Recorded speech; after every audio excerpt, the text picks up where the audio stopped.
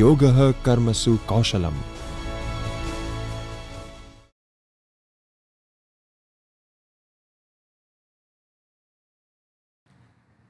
नमस्ते। UGC human resource development centre of Gujarat university द्वारा आयोजित online refresher course on quality in higher education के सभी प्रतिभागियों को मेरा वंदन, मेरा प्रणाम। मैं doctor Sandeep Boricha, assistant professor Shrimati M N K Dalal education college for women, Ahmedabad. पिछले चौदह साल से इस संस्थान में कार्यरत हूँ। अपने सेशन की शुरुआत करने से पहले, सबसे पहले मैं human research development centre of Gujarat university के डायरेक्टर एवं प्रोफेसर डॉक्टर जगदीश जोशी जी का आभार प्रकट करता हूँ। कि जिन्होंने आज मुझे आपके सामने मेरे विचारों को प्रस्तुत करने का अवसर प्रदान किया है। साथ में ही refresher course on quality and higher education के coordinator doctor Amrit bhai Bharwad sir का भी मैं धन्यवाद करता हूँ, जिसकी वजह से ही आज मैं आपके समक्ष यहाँ उपस्थित हो सका। H of Gujarat university, Ahmedabad. पिछले कई सालों से अपने इनोवेटिव वर्क के बदौलत पूरे भारतवर्ष में प्रसिद्ध है। इस पेंडेमिक के दौरान भी एचआरडीसी ने बहुत सारे online refresher course Gurudakshata programme short term course इनके माध्यम से हम सभी के साथ जुड़ने का अविरत प्रयास किया है। इसलिए मैं पूरी entire team of HRDC doctor Jagdish Joshi ji और उनकी पूरी टीम को फिर से एक बार अभिनंदन देता हूँ। और आज मैं जिस मुद्दे के बारे में चर्चा करने वाला हूँ, जिस टॉपिक के बारे में चर्चा करने वाला हूँ, वो मुद्दा है teacher as a reflective practitioner शिक्षक एक चिंतनात्मक कार्यक्रम। आज के इस सेशन में हम पहले हमारे समाज में शिक्षक की भिन्न भिन्न कौन कौन सी भूमिकाएँ हैं, इनके बारे में चर्चा करेंगे। उसके बाद चिंतनात्मक शिक्षा क्या है, उसका अर्थ जानेंगे। चिंतनात्मक शिक्षा के विकास के लिए विभिन्न जो प्रतिमान प्रस्थापित हुए हैं, उनके बारे में चर्चा करेंगे। चिंतनात्मक विकास के लिए कौन कौन सी प्रयुक्तियों का विनियोग किया जाता है, उसके बारे में भी चर्चा करेंगे। और अंत में, डोनाल्ड सोन ने रिफ्लेक्टिव प्रैक्टिशनर बनने के लिए किन तीन स्तरों पर रिफ्लेक्शन की आवश्यकता है, उसके बारे में चर्चा करेंगे। पूर्व क्रियात्मक चिंतन, अंतरक्रियात्मक चिंतन और अंत में पराक्रियात्मक चिंतन के बारे में भी चर्चा करें। तो सबसे पहले हम शिक्षक की, समाज में क्या क्या भूमिकाएँ हैं, उनसे हमारे सेशन की शुरुआत करते हैं। प्राचीन काल से लेके आज तक हमारे समाज में सभी जगह शिक्षक का स्थान सबसे ऊँचा रहा है। अगर हम वेदकालीन शिक्षा की बात करें तो शिक्षा, शिक्षक को गुरु के नाम से जाना जाता था, वहाँ भी कहा जाता था गुरुर ब्रह्मा, गुरुर विष्णु गुरुदेवो महेश्वर, गुरु साक्षात पर ब्रह्म तस्मै श्री गुरु वे नम। तो इस गुरु की तुलना ब्रह्मा, विष्णु और महेश के साथ की गई थी। वैसे बहुत सारे लोगों ने, शिक्षक का समाज में क्या स्थान है, इनके बारे में चर्चा की है। लेकिन मैं अपने सेशन की शुरुआत पूर्व राष्ट्रपति एवं वैज्ञानिक डॉक्टर एपीजे अब्दुल कलाम के कोटेशन से शुरू करने जा रहा हूँ। उन्होंने बताया है, समाज में टीचर्स क्या कर सकते हैं? The purpose of education is to make good human beings with skills and expertise enlightened human beings can be created by teacher शिक्षा का उद्देश्य ही मानवता का विकास करना है गुड ह्यूमन बीइंग का डेवलप करना है, वो भी कैसा? कौशल्य से और पूर्णता से पूर्ण हो। ऐसे लोगों को निर्माण करने का कार्य शिक्षा का है एजुकेशन का है। और एजुकेशन में इस कार्य किनकी सहायता से हो सकता है? तो केवल टीचर्स ही इस गुड ह्यूमन बीइंग को एनलाइटन कर सकता है। तो अब्दुल कलाम साहब ने भी समाज में शिक्षक की क्या भूमिका है, उसके बारे में अपने विचार प्रस्तुत किए हैं। सांप्रत में ही समग्र भारत में नेशनल एजुकेशन पॉलिसी 2020 में शिक्षक के बारे में पेज नंबर 20 पे कहा गया है, teachers truly save the future of our children and therefore the future of our nation. It is because of this noblest role that the teacher in India was the most respected member of society. Only the very best and most learned became teachers. Society gave teachers or gurus what they needed to pass on their knowledge, skills and ethics optimally to students. राष्ट्रीय शिक्षा नीति 2020 में teacher के बारे में कहा गया है, एक पूरा प्रकरण टीचर के बारे में है। वैसे तो जो ये पहली लाइन बताई है teachers to save the future of our children वो 1964-66 के राष्ट्रीय शिक्षण पंच और डॉक्टर डी एस कोठारी पंच के पहले विधान से ही सुसंबंधित है। हमारे भारत के बच्चों का फ्यूचर, भविष्य का निर्माण का कार्य शिक्षक कर रहा है और उसी निर्माण से ही राष्ट्र का निर्माण होगा। उस, इस निर्माण की प्रक्रिया में सबसे अहम भूमिका है, वो भूमिका है शिक्षक की। और यहाँ पे आप देख सकते हो, एक एग्जेक्टिव रोल के आगे रखा गया है नोबलेस्ट ऑफ़ रोल उम्दा कार्य, पवित्र व्यवसाय। हमारा व्यवसाय है उनको पवित्र या फिर उम्दा व्यवसाय ऐसा भी कहा गया है। और इसीलिए ही भारत में सबसे ज़्यादा रिस्पेक्टेड मेंबर अगर कोई सोसाइटी में है तो वो टीचर है। और इनसे आगे कहा कि only the very best and most learner become teachers ये आज की डिमांड है। सबसे श्रेष्ठ और लर्नेड पर्सन ही टीचर बने। अगर मुझे कहीं और चांस नहीं मिला, इसलिए मुझे टीचर बनना है, ऐसा नहीं है। वो टीचर भारत के भावी का निर्माता नहीं हो सकता है। और इसीलिए ही लर्नेड पर्सन ही टीचर बने और इस टीचर के माध्यम से ही भारत के भावी का निर्माण हो सकता है। और सोसाइटी भी कैसे शिक्षकों की अपेक्षा रखती है? अपनी ज़रूरियात है उसे किस प्रकार का ज्ञान चाहिए? कौन से कौशल्य कौन से नैतिक एथिक्स का विनियोग करना है, ऐसे शिक्षकों की डिमांड आज के सोसाइटी में है। तो ये भारत के समाज में शिक्षक का क्या स्थान है, ये बताते हैं। वैसे तो बहुत सारी भूमिकाएँ शिक्षक अपने व्यवसाय के अनुरूप निभाता है। Teacher as a facilitator teacher as a role model information receiver resource consumer planning assessor बहुत सारी भूमिकाएँ हैं। लेकिन जो तीन चार मुख्य भूमिकाएँ हैं शिक्षक की, पहली है शिक्षक एक आदर्श के रूप में रोल मॉडल के रूप में। बच्चों के ऊपर सबसे ज़्यादा प्रभाव उनके माता पिता के बजाय शिक्षक का होता है। शिक्षक अपने बच्चों का रोल मॉडल होता है। तो इनसे शिक्षक का उत्तरदायित्व भी बढ़ता है कि मेरे हर एक वर्तन में, मेरे हर एक कार्य में मुझे उत्तम कार्य करना है। मुझे बेस्ट देना है, श्रेष्ठ देना है ताकि मैं अपने बच्चों का रोल मॉडल बन सकूँ। टीचर का काम है फैसिलिटेटर फैसिलिटेटर का काम है, सुविधा प्रदान करता है, वो विषय वस्तु को प्रोवाइड करता है।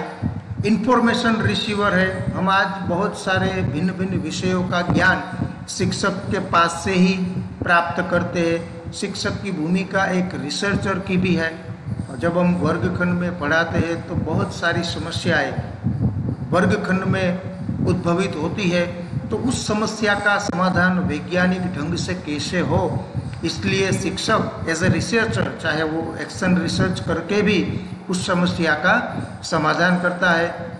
मूल्यांकनकर्ता के रूप में भी टीचर है, क्योंकि बच्चों का मूल्यांकन करता है करिकुलम का एवोल्यूशन होता है।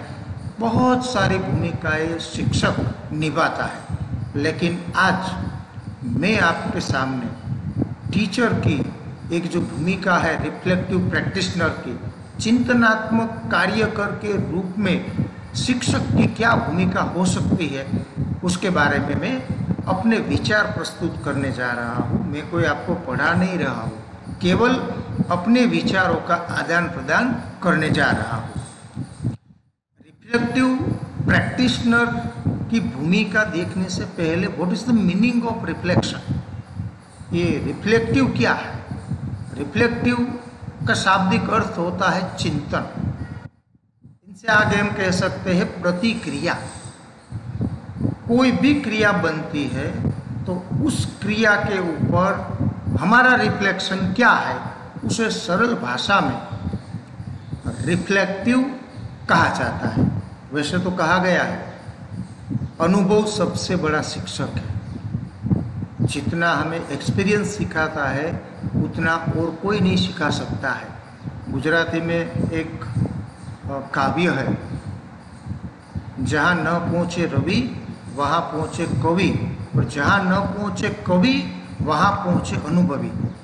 लेकिन मैं ये कहना चाह चाहता हूँ, अनुभव हमें कुछ नहीं सिखाता है। अनुभव के ऊपर हमारा रिफ्लेक्शन क्या है, अनुभव का हमने क्या चिंतन किया, वो ही हमें सिखाता है। और हम, ये जो चिंतन की प्रक्रिया है, प्रतिक्रिया की प्रक्रिया है वो हमारे मन के साथ जुड़ी हुई है। और विचार करना मनुष्य का मूलभूत कर्म है।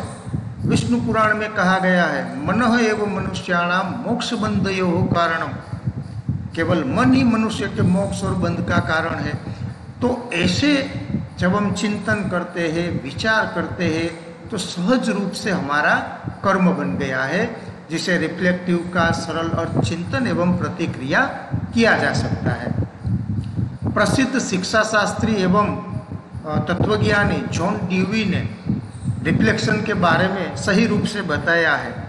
We do not learn from experience हम अनुभव में से कुछ नहीं सीख रहे हैं। दुनिया में बहुत सारे लोग हैं कि जिन्होंने बहुत सारे एक्सपीरियंस प्राप्त किए हैं। लेकिन we learn from reflecting on experience जो अनुभव हुए हैं, उस अनुभव पर हमने क्या चिंतन किया है, क्या रिफ्लेक्शन किया है, उनकी मदद से ही हम सीख सकते हैं। बाकी बहुत सारे दुनिया भर के अनुभव अगर प्राप्त कर लो, लेकिन एक भी अनुभव का ऊपर हम रिफ्लेक्शन नहीं करेंगे, तब तक अपने जीवन में हम किसी भी चीज़ को सीख सक नहीं पाएँगे।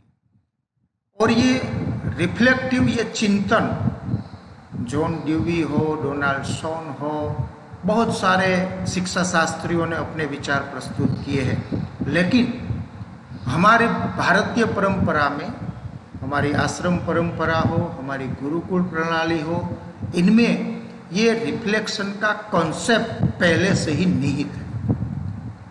कहाँ पे है? अगर हमें प्रश्न होता है तो कहाँ पे है?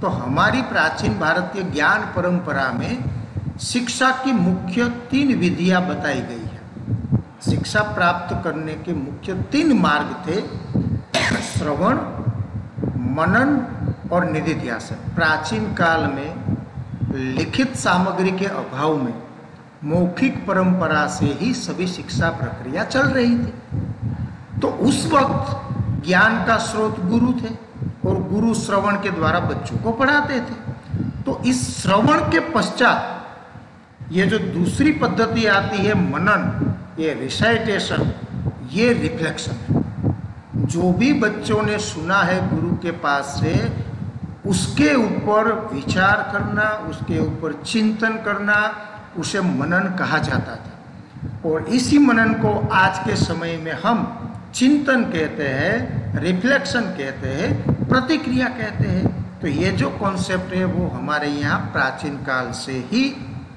हमारी शिक्षा व्यवस्था में था। लेकिन समय के पश्चात धीरे धीरे हमने नई विधियों का आविष्कार किया और हम मनन को भूल गए हैं। अब हम थोड़ा चिंतनात्मक शिक्षण का अर्थ जानने का भी प्रयास करेंगे कि चिंतनात्मक शिक्षण क्या है। सबसे पहले हम अगर देखें तो हमारा उत्तरदायित्व, हमारी रिस्पॉन्सिबिलिटी अध्यापक की क्या है? तो हमारे बच्चों में अध्ययता के वर्तन में इच्छित परिवर्तन के लिए ही हम कार्यरत हैं। हम क्यों है? हमारा अध्यापक का अस्तित्व क्यों है? हमारा मुख्य कार्य बच्चों के वर्तन में इच्छित परिवर्तन लाने के लिए ही हम कार्य करते हैं। और इसी वजह से हमें चिंतन करना आवश्यक है।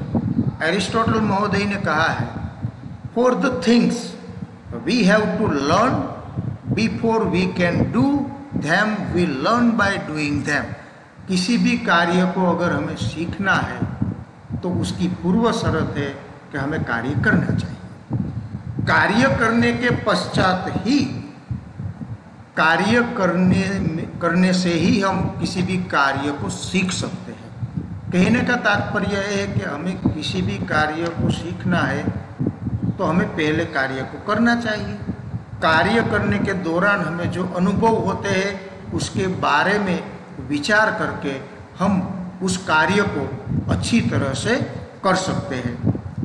आगे भी रिफ्लेक्टिव टीचिंग क्या है, उसके बारे में कहा गया है। चिंतनात्मक शिक्षण केवल स्मृति की प्रक्रिया नहीं है।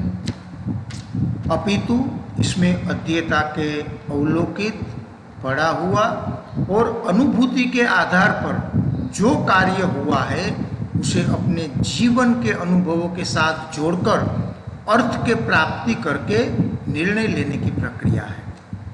केवल किसी कॉन्सेप्ट को याद रखना ही रिफ्लेक्टिव थिंकिंग नहीं है, लेकिन जो हमने देखा है, सुना है, पढ़ा है, हमने अनुभव किए हैं, उसके आधार पर जीवन के अनुभवों के साथ उसे जुड़कर हम कोई नया निर्णय लेते हैं उसे रिफ्लेक्टिव थिंकिंग कहा जाता है।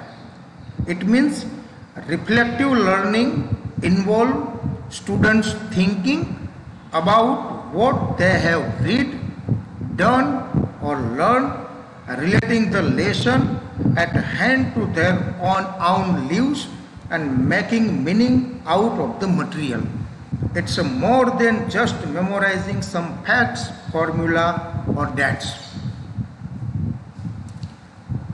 और एक सर्वस्वीकृत व्याख्या चिंतनात्मक शिक्षण की यहाँ पे रखने का मैंने प्रयास किया है। जब टीचर जब शिक्षक, अध्येता लर्नर अभ्यासक्रम करिकुलम टीचिंग लर्निंग प्रोसेस अध्ययन प्रक्रिया learning experiences teaching method teaching techniques classroom interaction teaching material, teaching aids, evaluation and assessment, learning objective, learning outcome इन सभी के बारे में।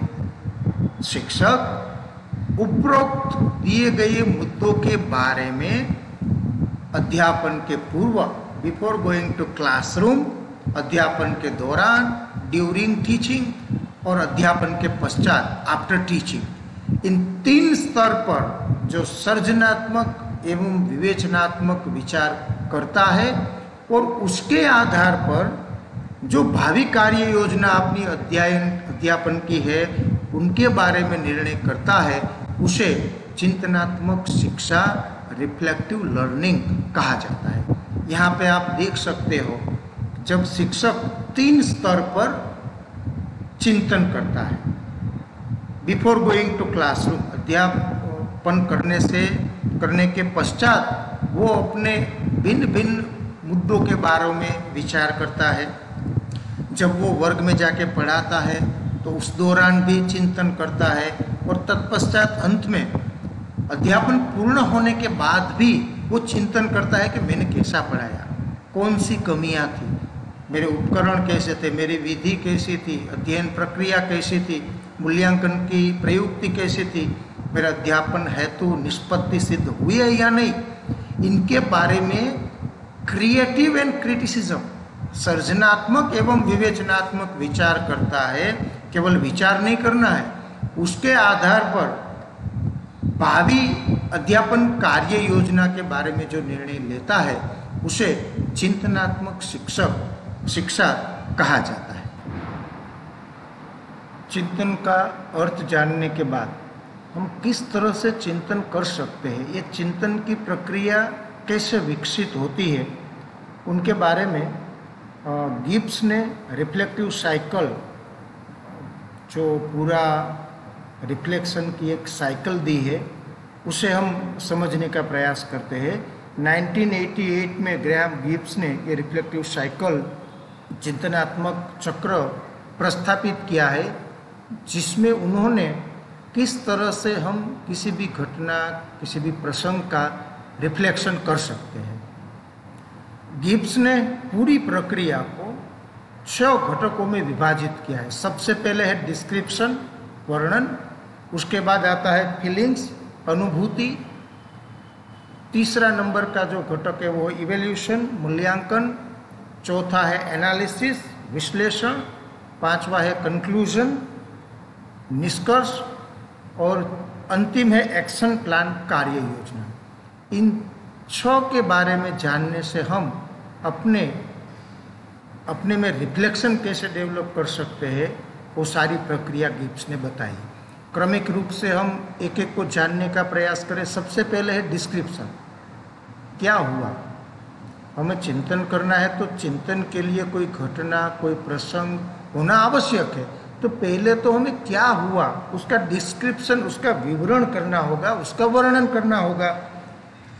कोई भी अध्येता, फिर अध्यापक ने देखे हुए, सुने हुए, पढ़े हुए, जो भी अपने अनुभव हुए, उस अनुभव का वर्णन करना उसे डिस्क्रिप्शन कहा जाता है। एक बार हमने अनुभव का वर्णन कर लिया, फिर आता है अनुभूति फीलिंग्स अनुभूति है, वो भावना का विषय है। हमने जो अनुभव किया है, वो भावना से संबंधित है। तो जो भी हमने अनुभव किया उस दौरान कौन कौन सी फीलिंग्स हमें हुई है, उसका भी ख्याल हमें इस सोपान में रखना चाहिए। तत्पश्चात तीसरा सोपान है मूल्यांकन। जो भी हुआ, उसमें क्या योग्य है, क्या अयोग्य है? जिसे हम मूल्यांकन कहते हैं, जो भी हमने अनुभूति की है, जो भी अनुभव किया है, उसमें योग्य क्या है, अयोग्य क्या है, इसके बारे में विचार करना उसे इवेल्यूशन का स्तर कहा जाता है। मूल्यांकन करने के बाद हमें विश्लेषण करना है एनालिसिस करना है। और क्या हो सकता था? मैंने तो ये अनुभव किया, मेरी अनुभूति ये थी, ये योग्य था, ये अयोग्य है, लेकिन और क्या हो सकता था? ये हम विश्लेषण के द्वारा जान सकते हैं। किसी भी परिस्थिति में हम और क्या कर सकते थे? हमने जो अनुभव प्राप्त किए, उसके आधार पर हम नई कौन सी चीज़ का आविष्कार कर सकते हैं, उसे हम विश्लेषण में रख सकते हैं। तत्पश्चात आता है निष्कर्ष। आपने क्या सीखा? कंक्लूजन सारे अनुभव में से, अनुभूति में से मूल्यांकन करके विश्लेषण करके आपने क्या सीखा? हम जब कोई पाठ पढ़ाते हैं, अध्यापन करवाते हैं तो उसमें से हम देखते हैं कि ये अच्छी बाबत थी, ये हमारी कमियाँ थी। इस कमियाँ को हमें दूर करनी होगी, ये अनुभव हमें काम में आएगा। तो ये कंक्लूजन में निष्कर्ष में आता है। और अंतिम है एक्शन प्लान कार्य योजना। इन पाँचों सोपानों के दौरान हमने जो अनुभव किए हैं, उनके आधार पर भावी मेरा प्लानिंग क्या होगा? जब अगली बार मैं वर्ग में जाऊँगा तो मेरा एक्शन प्लान क्या होगा? मेरे जो भी कमियाँ थी, जो भी निदान किया है, उसको सुधारने के लिए मेरा रेमेडियल वर्क क्या होगा? प्लान ऑफ़ एक्शन क्या होगा? इस छह सोपान की सहायता से हम किसी भी घटना, किसी भी बाबत, हमारा चाहे अध्यापन हो, कोई भी प्रक्रिया के ऊपर हम रिफ्लेक्शन कर सकते थे। ये छः सोपान गिप्स ने भी दिए हैं। इनके अलावा भी कई सारे मॉडल है रिफ्लेक्टिव साइकिल है। कोल्भ ने भी चतुस्तरीय रिफ्लेक्टिव की साइकिल रिफ्लेक्टिव लर्निंग के लिए साइकिल दी है। लेकिन यहाँ पर हम सिर्फ़ गिब्स के रिफ्लेक्टिव साइकिल का ही अभ्यास करेंगे। और आगे रिफ्लेक्टिव लर्निंग को डेवलप करने के लिए कौन कौन से टूल्स अवेलेबल है, उनके बारे में चर्चा करेंगे। बहुत सारी टेक्निक्स बहुत सारे टूल्स बहुत सारे उपकरण हैं जो चिंतनात्मक विचार के विकास के लिए उपयुक्त होते हैं। लेकिन यहाँ पर हम, हमारा फोकस रहेगा रिफ्लेक्टिव डायरी जिसे हम रिफ्लेक्टिव जर्नल भी कहते हैं। चिंतनात्मक डायरी है ऑब्जर्वेशन है। जब हम पढ़ाते हैं तो बच्चों के ऑब्जर्वेशन के द्वारा ही हम रिफ्लेक्शन को बढ़ावा दे सकते हैं। एनेक्डोक्टल रिकॉर्ड्स है, जिसे हम प्रसंग नोंद भी कहते हैं तो वो इसका भी हम विनियोग कर सकते हैं, व्यक्ति अभ्यास कर सकते हैं केस स्टडी कर सकते हैं, और अंत में हम टीचिंग पोर्टफोलियो और टीचर पोर्टफोलियो अध्यापन दफ्तर एवं अध्यापक दफ्तर ये सभी प्रयुक्तियाँ हैं कि जिनकी मदद से हम चिंतनात्मक विचार का विकास कर सकते हैं। इनमें से आज हम केवल रिफ्लेक्टिव डायरी किया है, उनके बारे में देखेंगे। वैसे तो रिफ्लेक्टिव डायरी को रिफ्लेक्टिव जर्नल भी बोला जाता है। रिफ्लेक्टिव डायरी का अर्थ देखिए, reflective diary is a place to write down your daily reflection entries और कुछ नहीं है। रूटीन में, डेली में जब हम पढ़ाते हैं तो हमने क्या एक्सपीरियंस किया? उसको राइट डाउन करना ही रिफ्लेक्टिव डायरी है। It can be something good or bad that has happen to you that you can self reflect on and learn from past experience जो भी हमारे साथ घटित है, उसमें सब अच्छा ही नहीं होगा। कोई अच्छी बाबत भी होगी, कोई कचास भी होगी, कोई बुरी बाबत भी होगी, जो भी हमारे साथ होता है उनका सेल्फ रिफ्लेक्ट करना, स्वचिंतन करना, और इनमें से हमारा जो पास्ट एक्सपीरियंस है, हमारे साथ जो बुना, जो बना है, उनका हमने राइट डाउन किया। उनमें से हमें सीखना है कि आगे हमें क्या करना है। तो टीचर के लिए रिफ्लेक्टिव डायरी मेंटेन करनी। आज के समय में मैं तो ये मानता हूँ, अनिवार्य है। टीचर के लिए नहीं, दुनिया के कोई भी लोग सुबह से लेकर रात तक अपने साथ घटी हुई घटना का रिफ्लेक्शन राइट डाउन फॉर्म में हमें करना चाहिए। बहुत सारे लोग डायरी मेंटेन करते हैं और यहाँ पे टीचर के लिए रिफ्लेक्टिव डायरी है। इनसे आगे रिफ्लेक्टिव डायरी का अर्थ और समृद्ध हो, इसलिए हमने एक व्याख्या यहाँ पे रखी है। रिफ्लेक्टिव डायरी प्रशिक्षुओं के लिए एक अध्ययन, प्रयास, एक लर्निंग अटेम्प्ट है। इस डायरी में वो घटना हो, अनुभव हो, या फिर कोई भी तत्व हो, अपनी समझ को आलेखित करता है। जो भी हमारे साथ बनता है, उसका लिखित रूप से आलेखन करता है। इसके बारे में अपने विचारों को रेखांकन करता है और घटना, अनुभव या तत्व का एनालिसिस भी करता है। यहाँ आप देख सकते हो, जो गिब्स ने जो सोपान दिए हैं रिफ्लेक्टिव साइकिल के वही यहाँ पे प्रतिपादित होते हैं। जो भी घटना हो तो उसका विश्लेषण करते हैं।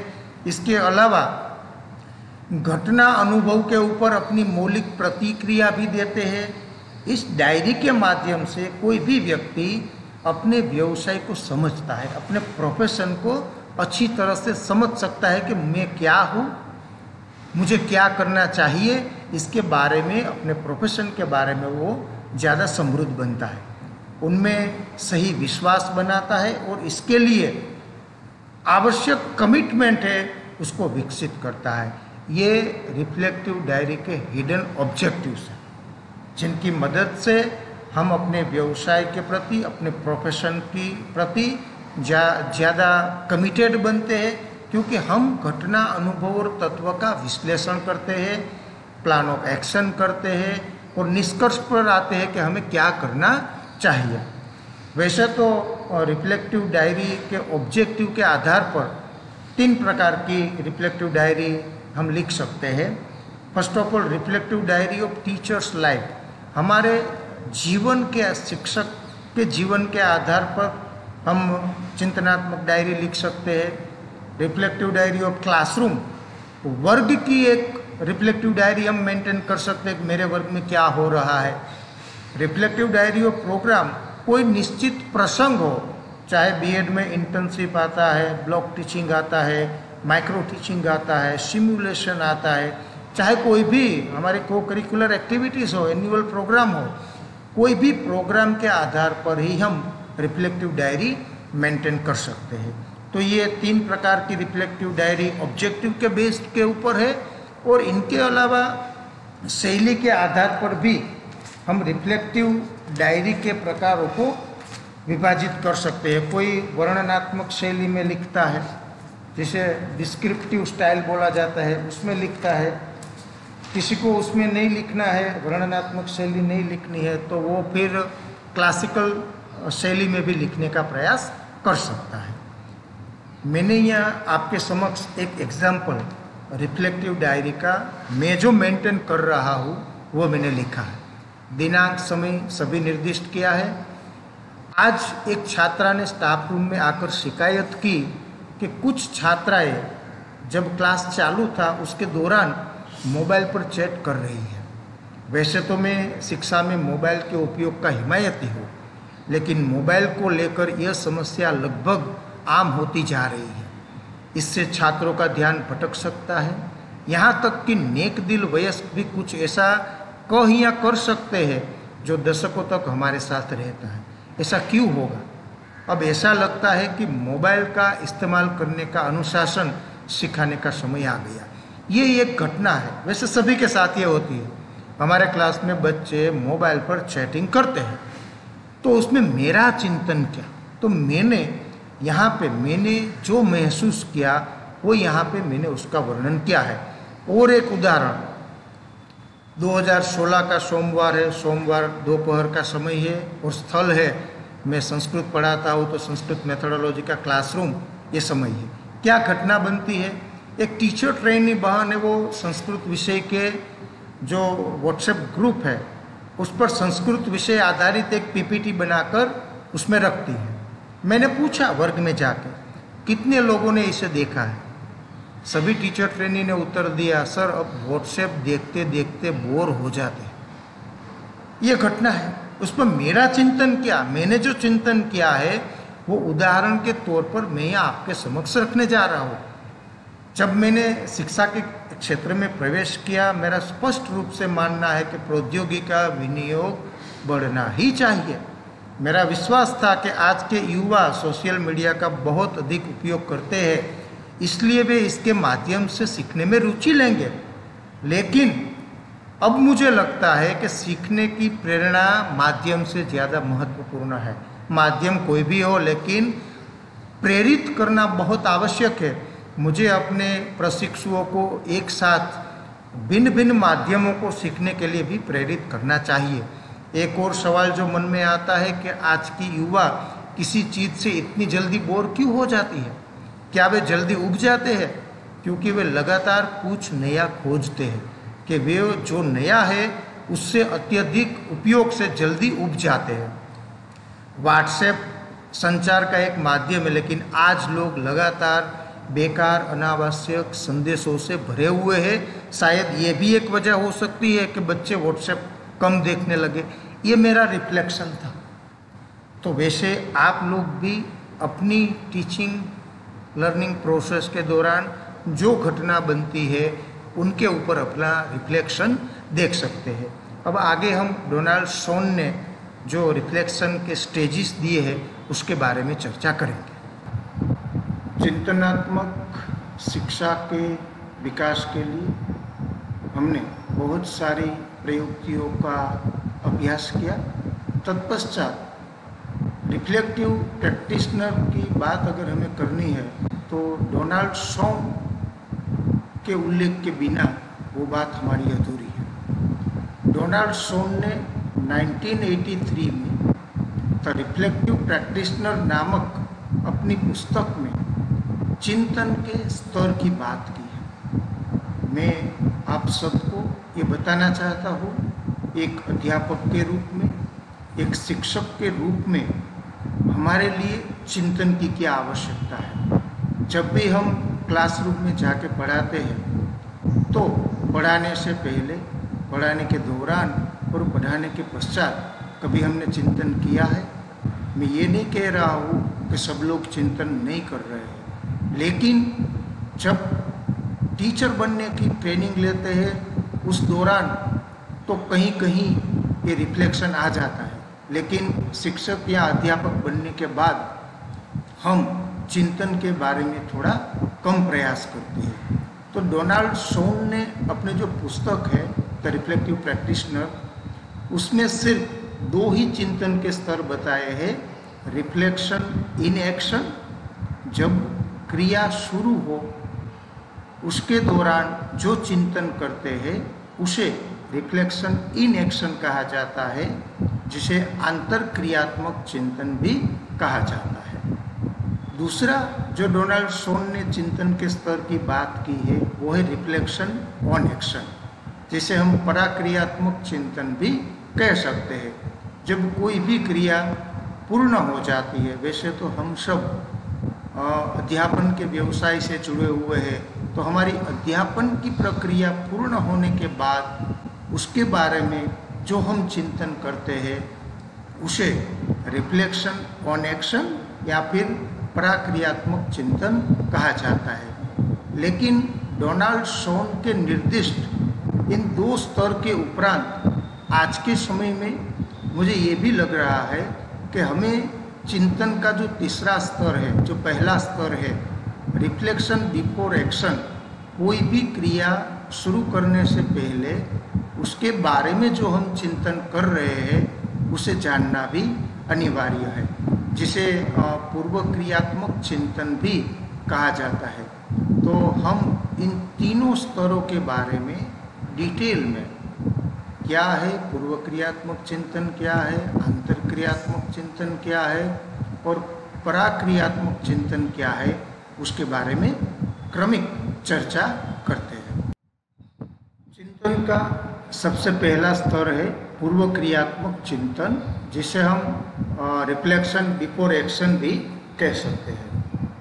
वैसे हम सब लोग जब क्लासरूम में जाके पढ़ाते हैं तो पढ़ाने से पहले मुझे क्या पढ़ाना है, उसके बारे में जो चिंतन अध्यापक एवं शिक्षक करता है, उसे पूर्व क्रियात्मक चिंतन कहा जाता है। आज के समय में चाहे प्राथमिक शिक्षा का स्तर हो, माध्यमिक शिक्षा का स्तर हो, या फिर उच्च शिक्षा का स्तर हो, सभी स्तर पर पूर्व क्रियात्मक चिंतन की आवश्यकता है।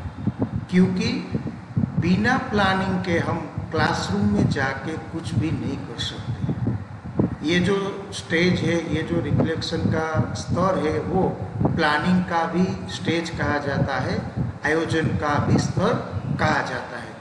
तो इसके दौरान शिक्षक कौन कौन सी बाबतों का चिंतन करता है, उसे जानना भी अनिवार्य है। तो हम देखते हैं तो सबसे पहले हमें ये सोचना है कि मुझे जहाँ पढ़ाना है, वो अध्येता कौन है लर्नर कौन है? ये बहुत आवश्यक है, क्योंकि लर्नर को जाने बिना, उनकी साइकोलॉजी को जाने बिना, हम वर्ग में जाके जो भी अध्ययन अनुभव प्रदान करते हैं, वो अधूरे हैं। तो पहले मेरा काम यह है वर्ग में जाने से पहले मुझे कौन सी कक्षा में पढ़ाना है? यूजी के छात्र है तो पहले साल के छात्र है, दूसरे साल के छात्र है, तृतीय साल के छात्र है। तो मुझे ये तय करना होगा। इनसे ये होगा कि छात्रों के बारे में, उनके पूर्व ज्ञान के बारे में हमें पता चलता है। उसके साथ साथ छात्रों की अपेक्षाएँ क्या क्या है? क्योंकि आज बहुत सारी अपेक्षाएँ लेके बच्चे हमारे पास आते हैं। तो वो कौन कौन सी अपेक्षाओं लेके हमारे पास आता है, वो भी हमें पूर्व विचार करना आवश्यक है। क्योंकि आज के बच्चे अब ऐसा नहीं रहा है कि शिक्षक एक ही ज्ञान का स्रोत हो। पहले ऐसा था आज के समय में बच्चे बहुत सारे एडवांस टेक्नोलॉजी का यूज़ करते हैं। कई जगह से वो हमारे से भी ज़्यादा अच्छा प्रेजेंटेशन एवं वीडियो देख कर आते हैं। तो उनकी अपेक्षाएँ क्या है, वो हमें जान लेनी चाहिए। सबसे इम्पोर्टेंट जो बात है पूर्व क्रियात्मक चिंतन में, वो है अध्यापन के हेतु एवं उद्देश्य। मैं क्यों पढ़ाना चाहता हूँ? जो भी विषय वस्तु हो, मेरा जो भी कंटेंट हो, वो मुझे क्यों पढ़ाना है? इनके बारे में अध्यापक को पहले सोचना होगा। संस्कृत में एक कहावत है, प्रयोजनम अनुद्देश्य मंदोपि न प्रवर्तते। बिना प्रयोजन के, बिना उद्देश्य के, मूर्ख व्यक्ति भी कोई भी कार्य में प्रवृत्त नहीं होता है। तो हम सब उस कैटेगरी में तो नहीं आते हैं। हमारी कोई भी प्रवृत्ति है, उनके पीछे कोई ना कोई निहित एवं संरचित उद्देश्य होते हैं। तो मुझे ये तय करना होगा कि आज के वर्ग में, मेरे अध्यापन के द्वारा, मेरे बच्चों के वर्तन में मुझे कौन कौन से परिवर्तन लाने हैं?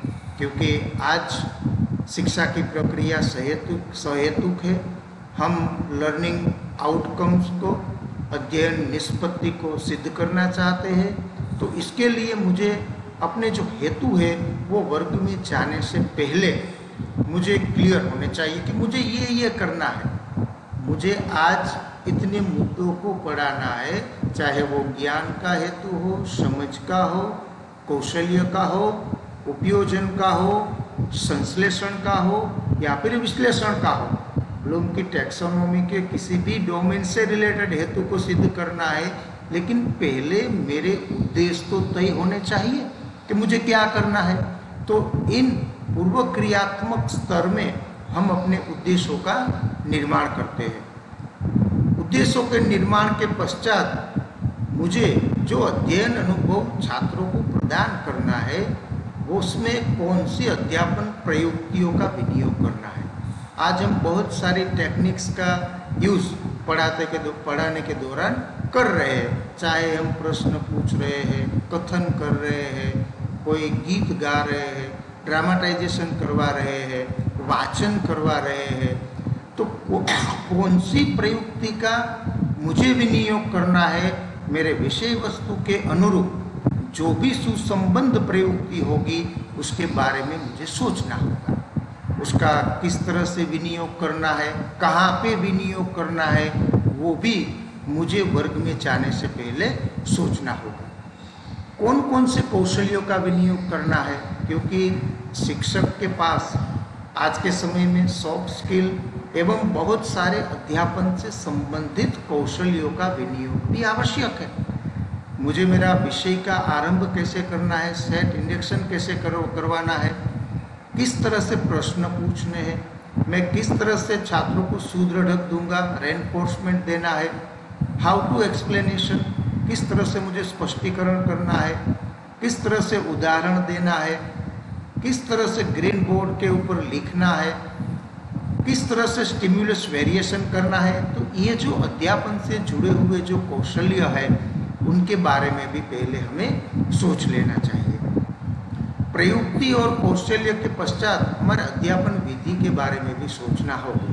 क्योंकि विषय वस्तु एवं विषय के अनुरूप भिन्न भिन्न विधियों का विनियोग हम अपने अध्यापन में कर रहे हैं। जैसा विषय वस्तु का स्वरूप हो, उसके मुताबिक हम अध्यापन विधि को चुनते हैं। मान लो कि मैं भाषा पढ़ा रहा हूँ और भाषा में मुझे व्याकरण, ग्रामर का अध्यापन करवाना है तो मैं अपने अध्यापन में आगमन निगमन विधि है, उनका भी नियोग करूँगा।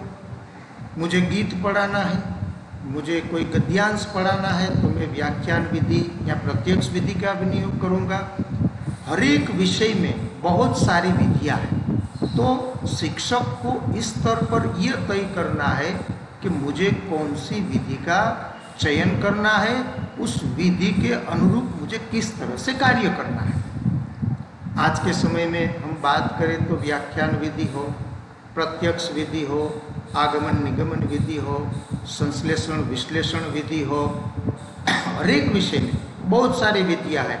खंडान्वय हो, दंडान्वय हो, निदर्शन हो, और आज के तकनीकी के युग में हम सी का यूज़ कर रहे हो कंप्यूटर असिस्टेड लर्निंग करवाना है। कंप्यूटर असिस्टेड इंस्ट्रक्शन करवाना है, मुझे मॉडल्स ऑफ़ टीचिंग का यूज़ करना है, मुझे प्रोग्राम लर्निंग का यूज़ करना है।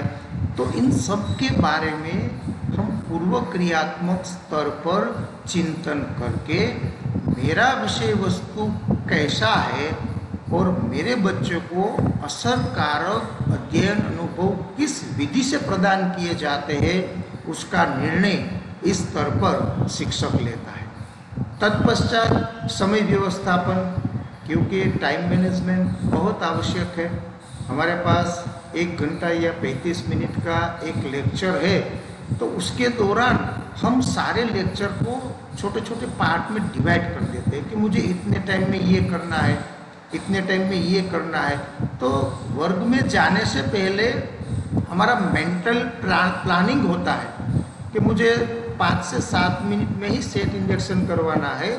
छात्रों के पूर्व ज्ञान को जानना है। मैं पढ़ाता हूँ तो विषय वस्तु की प्रस्तुति के दौरान मुझे 10 मिनट का समय लेना है। मुझे बच्चों के साथ इंटरेक्शन करना है। मैं, मुझे जो शैक्षिक उपकरण का विनियोग करना, उसमें कितना समय लगेगा? तो ये पूरा प्लानिंग है, वो वर्ग में जाने से पहले हमें कर लेना चाहिए। जब हम बच्चों को पढ़ाते हैं तो केवल व्याख्यान के द्वारा ही नहीं पढ़ाते हैं आज के समय में। हम सहायक सामग्री का भी विनियोग कर रहे हैं। तो मेरे विषय वस्तु के अनुरूप कौन सी सहायक सामग्री का मुझे उपयोग करना है? बहुत सारी सहायक सामग्री है, चाहे दृश्य हो, श्राव्य हो, दृश्य श्राव्य हो। मुझे कौन सा उपयोग करना, पहले मुझे वो तय करना होगा। तत्पश्चात मैंने मान लिया कि मुझे आज चार्ट बताना है। मुझे आज एलसीडी प्रोजेक्टर का विनियोग करना है। आज मुझे टेप रिकॉर्डर का विनियोग करना है। रेडियो के ऊपर टॉक सुनाना है। मुझे आज ओवर हेड ट्रांसपेरेंसी का ओएचपी का, प्रोजेक्टर का उपयोग करना है। आप चाहे कोई भी शैक्षिक उपकरण, सहायक सामग्री का विनियोग करने वाले हो, पहले उसके बारे में सोच लेना चाहिए। क्योंकि उसे हमें प्रिपेयर करना होता है। मान लो मुझे C A I computer assistant instruction से पढ़ाना है तो मेरे विषय वस्तु के अनुरूप मेरा प्रेजेंटेशन तैयार होना चाहिए। मुझे ओ एस पी का यूज़ करना है तो मेरी ट्रांसपेरेंसी तैयार होनी चाहिए। मुझे चार्ट बताना है तो चार्ट स्वनिर्मित है या रेडीमेड है? अगर रेडीमेड है तो वो अच्छी स्थिति में है, वो भी हमें देख लेना चाहिए। अगर नहीं है तो मुझे स्वनिर्मित चार्ट का निर्माण करना है। तो वो किस तरह से कर सकते हैं, इसके बारे में भी सोचना चाहिए। संक्षिप्त में कौन कौन सी सहायक सामग्री का हम विनियोग करेंगे, उनके बारे में हमें सोच लेना चाहिए। तत्पश्चात हमें ये भी सोचना होगा कि केवल वर्ग में मैं ही नहीं बोलूँगा, क्योंकि teaching is a bipolar process शिक्षा द्विध्रुवी प्रक्रिया है। एक ध्रुव अध्यापक है, दूसरा ध्रुव है, वो अध्येता है, विद्यार्थी है। तो मैं जब पढ़ाऊँगा, तब मेरे क्लासरूम इंटरेक्शन में, मेरे वर्ग व्यवहार में उनकी भागीदारी कैसे होगी? ये बहुत सोचनीय बाबत है। केवल व्याख्यान वाले क्लास में बच्चों की भागीदारी कम होती है, लेकिन जहाँ इंटरेक्शन आता है बच्चों के और अध्यापक के बीच तो किस तरह से मैं बच्चों की भागीदारी ज़्यादा बढ़ा पाऊँगा? प्रश्न पूछकर, चर्चा या फिर कोई ऐसा विषय प्रस्तुत कर उनके ऊपर छात्रों की भागीदारी लेनी है तो इनके बारे में भी हमें सोचना होगा। विषय वस्तु की प्रस्तुति कैसे करनी है? एक ही कंटेंट को बहुत सारे अध्यापक भिन्न भिन्न रूप से प्रस्तुत करते हैं। किसी की प्रस्तुति बहुत अच्छी होती है, किसी की प्रस्तुति हमें अच्छी नहीं लग रही है। आप लोग भी यहाँ पे एक्सपीरियंस कर रहे हो। ऑनलाइन रिफ्रेशर कोर्स में बहुत सारे वीडियोस आप देख रहे हो। सभी लोग अपने विषय की प्रस्तुति कर रहे हैं। इनमें से कुछ विषय वस्तु की प्रस्तुति आपको बहुत अच्छी लगती है। कुछ आपको अच्छी नहीं लगती है तो हमें ये तय करना है कि मेरे विषय वस्तु को किस तरह से प्रस्तुत करना है। इसमें साइकोलॉजी का भी बेस आता है, जो अध्यापन के सूत्र होते हैं मैक्सिम्स ऑफ़ टीचिंग होते हैं लर्निंग थियरी होती है, उनका भी प्रिंसिपल ऑफ़ लर्निंग होते हैं, उनका भी हम यहाँ पे विचार करते हैं। मेरे विषय वस्तु को किस क्रम में प्रस्तुत करना है? सरल से, कठिन के क्रम में जाना है, मूर्त से, अमूर्त की ओर ले जाना है, संश्लेषण से, विश्लेषण की ओर ले जाना है, ज्ञात से, अज्ञात की ओर जाना है, विशेष से, सामान्य की ओर जाना है, सामान्य से, विशेष की ओर जाना है तो इन सभी अध्यापन सूत्रों की सहायता से मैं ये तय कर सकता हूँ कि मेरे विषय वस्तु की प्रस्तुति कैसे हो अंत में पूर्व क्रियात्मक चिंतन में मुझे ये तय करना होगा कि मेरे अध्यापन कार्य में नवीनता कैसे आए। क्योंकि आज के बच्चे को परंपरागत जो ढांचा है सीखने का, उनसे ज़्यादा हम बच्चों को कुछ नए अनुभव प्रदान करें, नई तरह से कुछ अनुभव प्रदान करें, उसमें ज़्यादा इंटरेस्ट होता है। तो अध्यापक ये भी सोचता है कि मेरे विषय वस्तु को मुझे मुझे कैसे प्रस्तुत करना है? मैं उनमें कैसे नोवेल्टी ला सकता हूँ? मान लो मैं कोई भाषा में गद्यांश पढ़ा रहा हूँ और वो संवाद वाला पाठ है। तो मैं ये सोचता हूँ कि मुझे इसका वाचन नहीं करना, पठन नहीं करना है। लेकिन मैं बच्चों के पास ये जो संवाद है, जो डायलॉग है, उनकी प्रस्तुति करवाऊँगा। तो मेरे अध्यापन में नोवेल्टी आती है बच्चे सक्रिय बनते हैं और उनकी भागीदारी ज़्यादा बढ़ती है। तो इस स्तर पर पूर्व क्रियात्मक चिंतन के स्तर पर हम वर्ग में जाने से पहले, वर्ग में वर्ग के अध्यापन के दौरान मुझे क्या क्या करना है, उसके बारे में जो चिंतन करते हैं, उसे पूर्व क्रियात्मक चिंतन कहा जाता है। चिंतन का जो दूसरा स्तर है, वो है आंतर क्रियात्मक चिंतन। डोनाल्ड सोन ने उसे रिफ्लेक्शन इन एक्शन ऐसा नाम दिया है। वैसे आंतर क्रियात्मक शब्द ही बताता है कि वास्तव में टीचर जब क्लासरूम में जाके पढ़ाता है, बच्चों के साथ इंटरेक्शन करता है, उस वक्त जो चिंतन करता है उसे आंतर क्रियात्मक चिंतन कहा जाता है। ये जो तीन स्तर है पूर्व क्रियात्मक अंतर क्रियात्मक और पराक्रियात्मक, इनमें से आंतर क्रियात्मक चिंतन में शिक्षक बच्चों के साथ इंटरेक्शन करता है। जब हम वर्ग में पढ़ाते हैं, उस दौरान जो रिफ्लेक्शन करते हैं, जो चिंतन करते हैं, उसे रिफ्लेक्शन इन एक्शन कहा जाता है।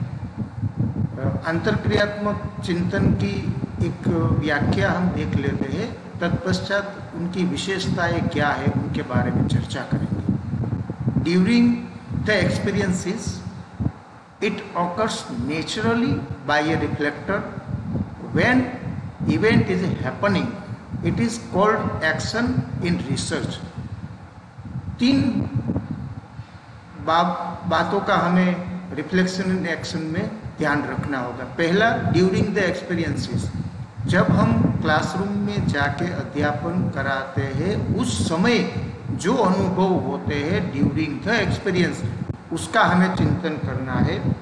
उसके बाद दूसरा है नेचुरली बाय रिफ्लेक्टर ये जो चिंतन होता है, वो अंतस्फुरित होगा। बाय फोर्स नहीं होगा, क्योंकि जब हम पढ़ाते हैं, उस पढ़ाते, पढ़ाने के दौरान जो हमारा रिफ्लेक्शन होता है, वो यहाँ पे आएगा। तीसरी चीज़ है व्हेन इवेंट इज़ हैपनिंग यहाँ इवेंट के तौर पर हमारा अध्यापन कार्य को हम ले सकते हैं। जब अध्यापन कार्य शुरू हो, उसके दौरान जो हम चिंतन करते हैं, उसे आंतर क्रियात्मक चिंतन कहा जाता है। डोनाल्ड सोन ने इसे अपना पहला स्तर माना है। उनकी प्रमुख विशेषताएँ इस प्रकार। पहली विशेषता ये, अध्यापक, अध्यापन विषयक निरंतर चिंतन करता है।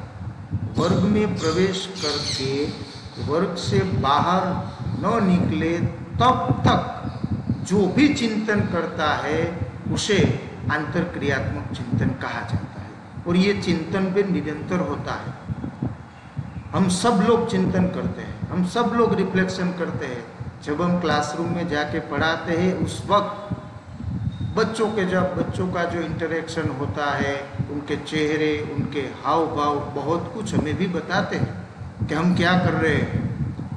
कई बार ऐसा भी होता है, कोई समस्या उत्पन्न हो जाती है तो उसका समाधान मैंने कैसे किया? तो ये हम निरंतर हमारे अध्यापन के विषय चिंतन करते हैं। दूसरी प्रमुख विशेषता है चिंतन के अनुसार हमारे अध्यापन कार्य में बदलाव लाते हैं। वैसे जब हम पढ़ाते हैं तो कई बार परिस्थिति हमारे होश में नहीं होती वैसे भी कहा गया है teaching is a flexible process पूर्व निर्धारित तो है, लेकिन वर्ग में जाके स्थिति क्या है? अगर परिस्थिति कोई अलग है तो हमने देखा कि परिस्थिति ये है तो उस परिस्थिति के अनुरूप हमारे अध्यापन कार्य में हमें बदलाव लाना आवश्यक है। मान लो, नौवीं कक्षा में एक शिक्षक गणित पढ़ाने जाता है, भूमिति पढ़ा रहा है, लेकिन उसे भूमिति के बेसिक कंसेप्ट है, उसके बारे में बच्चों में ज्ञान नहीं है। तो फिर तो फिर शिक्षक राइडर और प्रमेय कैसे पढ़ाएगा? तो अपने अध्यापन कार्य में बदलाव लाना होगा।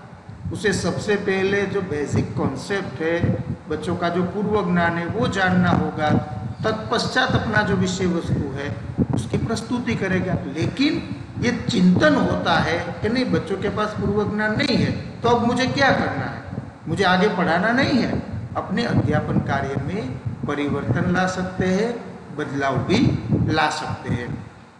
जब हम वर्ग में पढ़ाते हैं तो पढ़ाने के दौरान हम अध्ययता का अवलोकन कर रहे हैं, उनका निरीक्षण कर रहे हैं। उस निरीक्षण से हमारा स्व मूल्यांकन भी होता है। हमने कई बार ये महसूस किया है कि जब हम पढ़ाते हैं तो बच्चों के चेहरे बहुत कुछ कहता है। उनके चेहरे की जो लकीरें हैं, वो लकीरें हमें बताती है कि हम सही दिशा में जा रहे हैं या फिर कोई असमंजस की स्थिति हमने पैदा कर दी है। तो अध्ययता के अवलोकन द्वारा हम अपना मूल्यांकन करके हम अपने आप को ये महसूस करवा सकते हैं कि मैं जो पढ़ा रहा हूँ, वो सही ढंग से जा रहा है। कई बार वर्ग में समस्याएँ उत्पन्न होती है, क्योंकि हमें बच्चों के साथ काम करना है तो कई बार समस्या हमारे हाथ में नहीं होती है। तो उस समस्या का तत्काल समाधान मुझे कैसे करना है? जो निर्णय लेना है, वो अंतर क्रियात्मक स्तर के ऊपर मैं निर्णय ले सकता हूँ। मान लो, मैं कॉलेज में टीचर ट्रेनिंग कॉलेज में पढ़ा रहा हूँ। पढ़ाने के दौरान दो लड़कियाँ आपस में बातचीत कर रही है। ये एक समस्या उत्पन्न हुई। तो उसमें मेरा रिफ्लेक्शन क्या उस समस्या का समाधान मैं किस तरह से करूँगा? उन दो लड़कियों को क्लास में खड़े कर दूँगी। या फिर उन दोनों को बोल दूँगा कि आप क्लास के बाहर चले जाओ। या फिर ये जानने का प्रयास करूँगा कि आप लोग क्या बात कर रहे हो। बहुत सारे हमारे सामने समाधान के उपाय हैं, लेकिन एज ए टीचर मैं उस वक्त क्या उपाय लाता हूँ? तो समस्या का समाधान तत्काल होना चाहिए। और ये जो सब प्रतिक्रिया होगी, जो रिफ्लेक्शन होगा, वो हमारा अंतस्फुरित है, क्योंकि हम पढ़ाते हैं। पढ़ाने के दौरान जो समस्या उत्पन्न होती है, वो हमारी है। तो मुझे इस समस्या का समाधान कैसे लाना है तो उसमें बाह्य फोर्स नहीं होगा एक्सटर्नल फोर्स नहीं होगा कि इस तरह से आप समस्या का समाधान करो। मेरे अंतस्फुरी मुझे अंदर से ऐसा लगता नहीं, मुझे ये करना चाहिए। मेरे बच्चे बातचीत कर रहे हैं तो उसे पनिशमेंट नहीं देनी है। उसे क्लास से बाहर नहीं भेजना है। उसे खड़े नहीं करना है। मुझे ये जानना होगा कि बच्चे क्यों बात कर रहे हैं। ये सब अंतस्फुरित प्रतिक्रिया होती है। ये जो रिफ्लेक्शन होता है, वो अंदर से आता है। और वर्ग में टीचर का जो भी निर्णय होगा, वो स्वतंत्र होगा। अंतर क्रियात्मक स्तर पर शिक्षक एवं अध्यापक जो भी निर्णय लेता है, वो स्वतंत्र होता है, शिक्षक का अपना होता है, खुद का होता है। क्योंकि शिक्षक पढ़ा रहा है, समस्या को, समस्या भी शिक्षक को हुई है। तो उस समस्या के समाधान के लिए शिक्षक स्वतंत्र निर्णय लेता है और परिस्थिति के अनुरूप निर्णय लेना चाहिए। वर्ग की जो भी समस्या उत्पन्न हुई है जो भी परिस्थिति उत्पन्न हुई है, उस परिस्थिति के अनुरूप मुझे निर्णय लेना होगा। तो ये अंतर क्रियात्मक चिंतन रिफ्लेक्शन एंड एक्शन के दौरान की प्रमुख विशेषताएँ हैं। हम क्या चिंतन इस स्तर पर कर रहे हैं, ये हमें जानना होगा। आपके सामने दस प्रश्न रखे हैं, जो हम अध्यापन के दौरान हमें अपने आप से पूछने, हमें किसी और से नहीं पूछने, क्योंकि ये रिफ्लेक्शन इन एक्शन है। सबसे पहले मुझे अपने आप से पढ़ाते के दौरान मुझे ये पूछना होगा कि छात्र अध्येता विषय वस्तु को समझ रहे हैं? हम अवलोकन के द्वारा, निरीक्षण के द्वारा, बच्चों के हाव भाव के द्वारा ये जान सकते हैं कि मैं जो भी विषय वस्तु पढ़ा रहा हूँ, वो बच्चे समझ रहे हैं या नहीं समझ रहे हैं। तत्पश्चात दूसरा, मेरा ध्यान वर्ग पर केंद्रित है, क्योंकि पढ़ाने से पहले ध्यान केंद्रित करवाना बहुत आवश्यक है।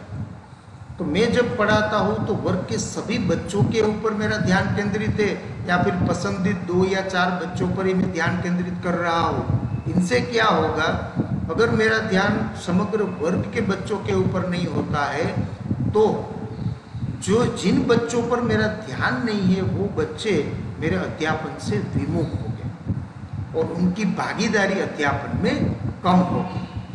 अपना ध्यान केंद्रित है ये जानने के बाद अध्ययता का ध्यान केंद्रित है, ये भी जानना आवश्यक है, क्योंकि हम जो पढ़ा रहे हैं, जो लर्निंग एक्सपीरियंस प्रस्तुत कर रहे हैं, उसके मुख्य जो सोर्स है, वो अध्ययता है। तो अध्ययता मैं जो पढ़ा रहा हूँ, उसे ध्यान पूर्वक सुन रहा है। उसका ध्यान केंद्रित है। अगर नहीं है तो मुझे वहाँ ध्यान केंद्रित करवाना होगा। कई बार ऐसा होता है कि बच्चों का ध्यान डाइवर्ट हो जाता है तो एक अध्यापक का हमारा कर्तव्य है कि हमारे अध्यापन कार्य में उसे जुड़े रखने के लिए उसका ध्यान कोई ना कोई प्रयुक्ति का विनियोग करके केंद्रित करवाना होगा। कैसे करवा सकते हैं ध्यान केंद्रित? तो मैं बच्चों को प्रश्न पूछकर उसका ध्यान केंद्रित करवा सकता हूँ। एवं मैं जो प्रतिपोषण बच्चों को दे रहा हूँ रेनफोर्समेंट दे रहा हूँ, वो योग्य है, ये भी मुझे जानना होगा। जब हम पढ़ाते हैं तो बहुत सारे प्रश्न बच्चों के सामने प्रस्तुत करते हैं। तो ये प्रश्न मेरे विषय वस्तु से अनुरूप है, सुसंबंध है, कोई बाह्य प्रश्न तो नहीं है ना? ये भी मुझे जानना होगा। और जब प्रश्न के उत्तर बच्चे देते हैं तो मैं फीडबैक देता हूँ रेनफोर्समेंट देता हूँ तो वो सही रूप से दे रहा हूँ, क्योंकि प्रतिपोषण से फीडबैक से बच्चों का इन्वॉल्वमेंट ज़्यादा बढ़ता है। बीच बीच में अध्यापक ये भी सोचता है कि मेरा अध्यापन कार्य योग्य दिशा में जा रहा है।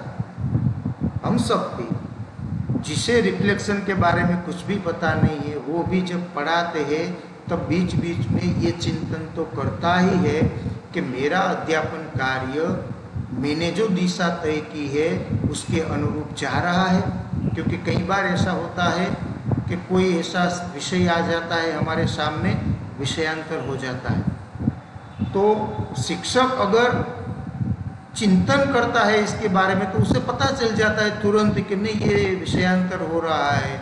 मुझे अपने विषय की बाउंड्री से बाहर नहीं जाना है। तो इनसे क्या होगा कि विषयांतर से हम बच सकते हैं। जब मैं पढ़ाता हूँ तो मैंने अपने बच्चों को अभिव्यक्ति का अवसर प्रदान कर रहा हूँ। केवल मैं ही बोले जा रहा हूँ।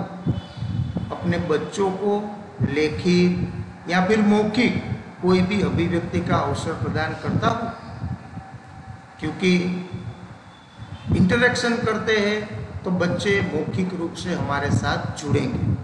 प्रश्न पूछेंगे तो बच्चे उसका उत्तर देंगे। तो बीच बीच में हमें बच्चों को अभिव्यक्ति की अभिव्यक्ति का अवसर देने के बारे में भी सोचना होगा। कई बार छात्रों की ओर से कोई समस्या उत्पन्न होती है तो मैं उन समस्या को समाधान करने का प्रयास कर रहा हो, या फिर वो तो चलता है, उनका काम है, उनकी समस्या है, वो ही समाधान लाएँगे। मैं अपना निश्चित जो अध्यापन कार्य है, वो ही करूँगा। रिफ्लेक्टिव प्रैक्टिशनर ऐसा नहीं करता है। वो जानता है कि बच्चों में जो समस्या उद्भवित हुई है, उसका कारण क्या है, और उसका समाधान मैं किस तरह से ला पाऊँगा उस समस्या के ऊपर मुझे ध्यान नहीं देना है, ऐसी बात नहीं करनी है। क्योंकि जब तक समस्या वर्ग में रहेगी, तब तक बच्चों का ध्यान केंद्रित अध्यापन में नहीं होगा। मैं जो पढ़ा रहा हूँ, वो आत्मविश्वास पूर्वक अध्यापन करवा रहा हूँ। हम अपने आप महसूस कर सकते हैं कि मैं जो प्रस्तुति कर रहा हूँ, उसमें आत्मविश्वास है या असमंजस की स्थिति है। वो भी हम इसके बारे में सोच सकते हैं। मैं बच्चों को योग्य दिशा निर्देशन डायरेक्शन सूचना देता हूँ। कई बार ऐसा होता है कि हम अच्छी तरह से निर्देश नहीं देते हैं, इसकी वजह से बच्चे जो कार्य कर रहे हैं, उसमें गलतियाँ होती हैं। तो मैं पढ़ाने के दौरान जो भी निर्देश मुझे देने हैं, अध्यापन के संबंधित, वो मैं अच्छी तरह से दे रहा हूँ।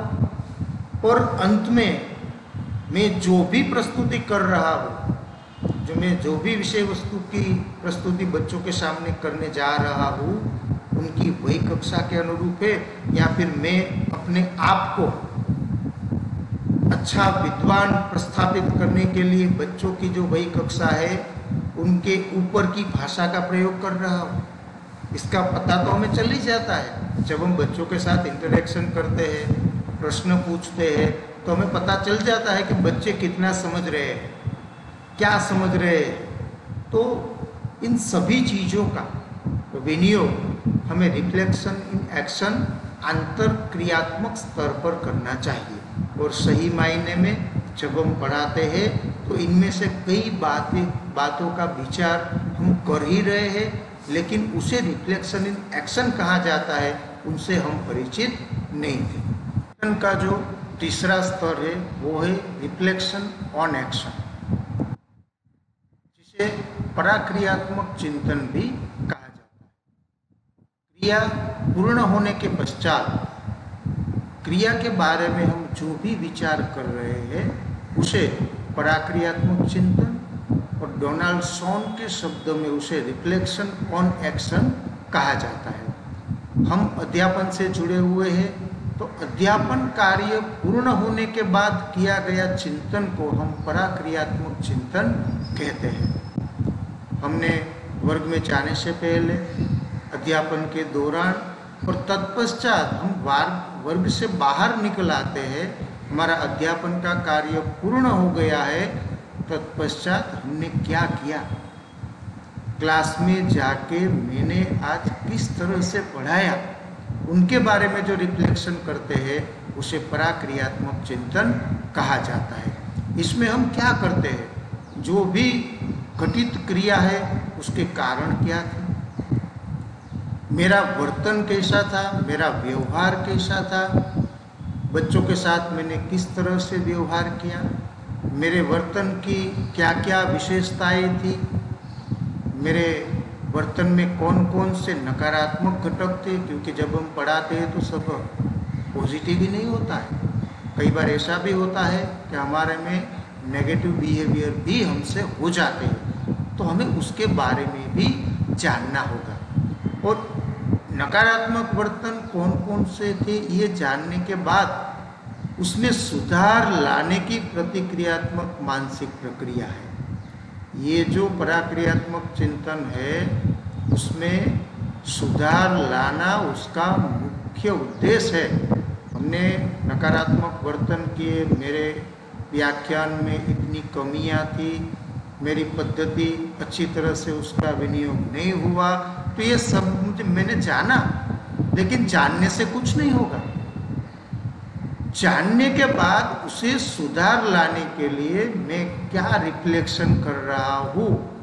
वो जो मानसिक प्रक्रिया है, उसे कार्य विषयक चिंतन रिफ्लेक्शन ऑन एक्शन या फिर पराक्रियात्मक चिंतन भी कहा जाता है। जब हम व्यवहार में ये रिफ्लेक्शन तो देते ही है, कोई भी क्रिया पूर्ण होती है ना, तत्पश्चात देते हैं। हमारे बच्चे भी रिफ्लेक्शन करते हैं। जब हमारा लेक्चर पूर्ण होता है तो तुरंत जब हम क्लास से बाहर निकलते हैं तो बच्चे के जो फीडबैक होते हैं, जब हम क्लास से बाहर निकलकर अगर हम लॉबी में खड़े हो जाए तो बच्चे जो बोल रहे होते, बहुत मज़ा आ गया। आज का क्लास तो बोरिंग था। नहीं, सर ने आज तो अच्छी तरह से पढ़ाया। तो ये जो सब फीडबैक है ना, वो बच्चों का रिफ्लेक्शन है। तो बच्चों का तो रिफ्लेक्शन होता है, लेकिन हमारा खुद का रिफ्लेक्शन क्या था? आज मैंने जो पढ़ाया वो कैसा था? और हमारा जो जॉब सेटिस्फेक्शन मिलता है, व्यावसायिक संतोष की जो प्राप्ति होती है, वो रिफ्लेक्शन की बदौलत ही मिलती है। हम सुधार ला सकते हैं वो क्या तय कर सकते हैं? इस मुद्दे को अगर मुझे फिर से पढ़ाना होगा तो मैं अन्य कौन रीत का विनियोग करूँगा? आज मैंने इस तरह से पढ़ाया। लेकिन इस तरह से पढ़ाया तो ये ये गलतियाँ हुई। लेकिन अगली बार जब मैं पढ़ाऊँगा तो मैं इस मुद्दे को दूसरी पद्धति का, दूसरी विधि का विनियोग करके पढ़ाऊँगा। ये हमारा सुधारात्मक प्रयास है, ये हमारा रिफ्लेक्शन ऑन एक्शन है। अगर मैंने आज इस मुद्दे को इस तरह से पढ़ाया, फिर से अगर मुझे ये करना हो तो फिर से क्रिया करते समय मैं इन इन चीज़ों में सुधार लाऊँगा। ये सबसे आवश्यक है। मैंने जो भी किया, कोई भी कार्य, सीख कार्य अगर मुझे सीखना है तो पहले मुझे करना होगा। मैं कार्य करूँगा, कार्य करने के पश्चात मैं उनके ऊपर रिफ्लेक्शन करूँगा और रिफ्लेक्शन के बाद मुझे इस कार्य में जो जो कमियाँ महसूस हुई है, उसे मैं सुधारने का प्रयास करूँगा। केवल अपने स्व मूल्यांकन सेल्फ रिफ्लेक्शन नहीं। अपितु कई बार हमारे साथी मित्र जो पियर होते हैं कलिंग्स होते हैं, हमारे जो छात्र होते हैं प्रिंसिपल होते हैं, उनके द्वारा भी कई निर्देश प्राप्त होते हैं। तो अन्यों से प्राप्त निर्देशों के द्वारा मैं अपने वर्तन में किस तरह से परिवर्तन लाने का प्रयास करूँगा?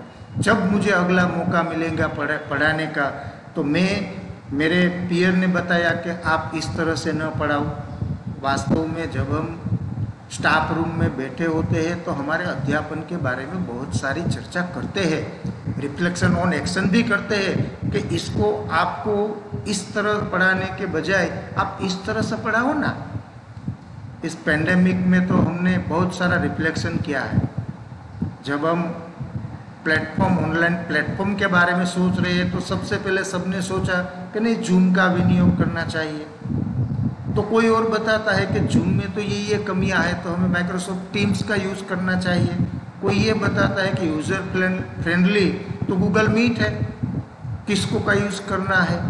तो क्या होगा कि अन्य द्वारा जो निर्देश होते हैं, उनके अनुरूप हमारे वर्तन में हमें परिवर्तन लाके सुधारात्मक प्रयास भविष्य में जब मैं पढ़ाऊँगा तो उसमें इतने इतने सुधारात्मक प्रयास लाऊँगा।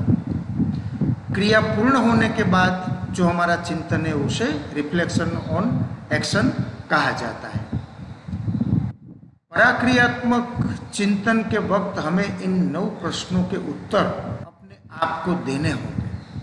क्रिया तो पूर्ण हो चुकी है, अध्यापन का कार्य पूर्ण हो गया है, तत्पश्चात मुझे अपने आप से पूछना है कि मैंने जो कंटेंट पढ़ाया, उस विषय वस्तु को छात्र समझ सके?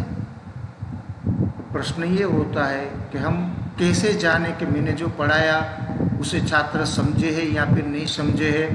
तो वैसे तो हम ऑब्जर्वेशन की सहायता से, निरीक्षण की सहायता से, बच्चों के हाव भाव के द्वारा भी ये जान सकते हैं बीच बीच में हमारा विषय वस्तु से सुसंबंधित प्रश्न पूछकर भी जान सकते हैं। अंत में हम कोई एम सी क्यू पाँच सात एम सी क्यू प्रश्न पूछकर भी जान सकते हैं।